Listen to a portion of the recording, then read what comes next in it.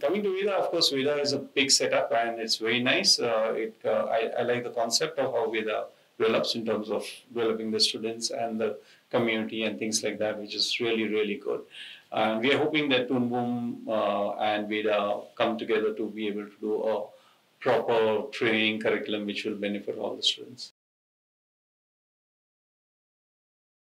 The students, as I said, are good. I like the faculty. Faculty are fantastic. And uh, more than just the technical training, there is also a lot of values that are, I'm noticing in students. And that is very unique to Veda. So Veda is, is a great uh, place. And I think so most of the students are very nice.